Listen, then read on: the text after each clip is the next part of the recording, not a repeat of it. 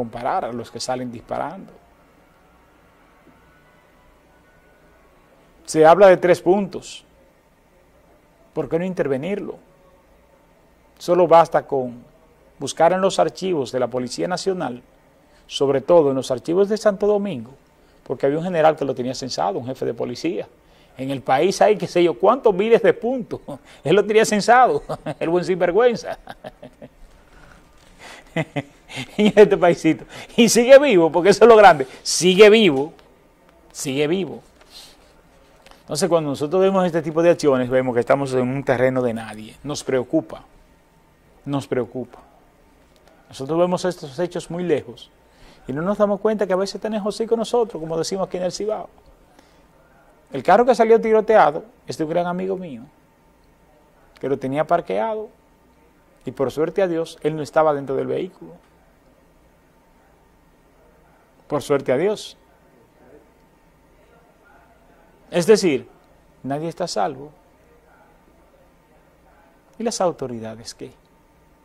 Yo pensaba, pensaba yo, que en el día de hoy se iba a replicar aquí lo que sucedió en Santo Domingo, encabezado por el general Inver Tesón, cuando intervino Guachupita 1, en la operación Guachupita 1 y Guachupita 2, que vació, como decimos aquí en el Cibao, así en esos mismos términos, ocho volteos con armas blancas en el parqueo de la Policía Nacional. Se entró por aire, se entró por las aguas del río Sama con la Marina de Guerra, se auxilió de, un avanzado de la Fuerza Aérea y con el ejército y la policía intervino Guachupita 1 en la operación Guachupita 1, todos los sectores de Guachupita, Gualey y esa zona. Y la historia es otra de ahí para acá. La historia es otra. Y cientos y cientos de, jóvenes detenidos y personas detenidas. Nosotros escuchábamos la madre de el joven que murió, eh, Carlitos Ia.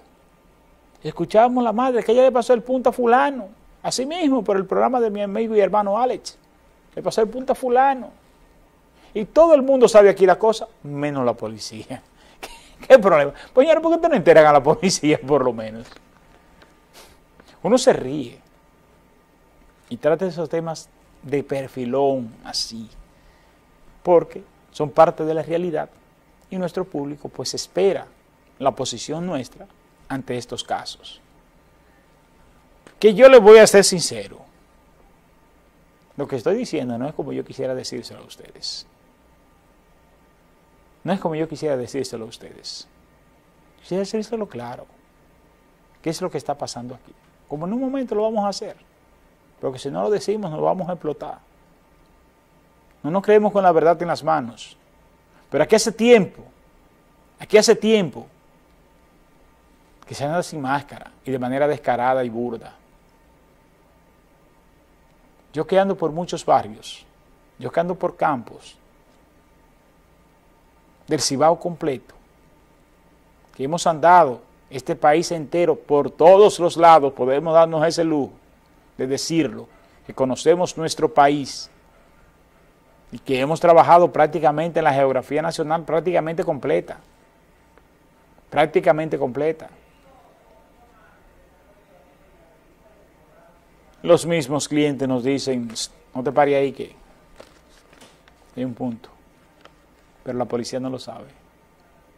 No, ellos no lo saben. ¿Qué tú me estás haciendo señas? Que no lo saben, te estoy diciendo. Pues no lo saben. Ellos tienen que saberlo todo. No, no. Ahora, si Wilson se equivoca y tira un tiro con su pistola legal, eh, eh, Wilson sí tiene problema. Eh, sí, señor. Sí, señor. Ahí sí hay problema. Si Wilson llega y se pronuncia, ahí sí recibe llamadas. Ahí sí. Porque a nosotros los comunicadores sí están muy pendientes y a otros sectores están pendientes. Pero la actividad delictiva, a esa no se está pendiente. Porque tal y como lo digo en el spot, la delincuencia es una industria que beneficia a quienes están llamados a perseguirla. Y siempre lo he dicho y lo sostengo. Tengo mi teoría inclusive escrita. ¿En base y en función de qué lo decimos? Y un día de esto, vamos a hacer un comentario amplio al respecto. De un efecto cascada. De esa forma como ha evolucionado la delincuencia a partir del proceso de capitalización de las empresas del Estado, que guarda una estrecha relación, una estrecha relación el proceso de capitalización de las empresas del Estado guarda una relación directa con el aumento y el auge de la delincuencia en el país. Eso es un tema que lo vamos a tocar a profundidad próximamente. Yo le voy a presentar lo que fue el análisis que nosotros hicimos al respecto hace un tiempo, que lo tenemos escrito y guardado, pero vamos a usar este medio un día de esto para que poner los puntos sobre la I. Nosotros le vamos a pedir un permisito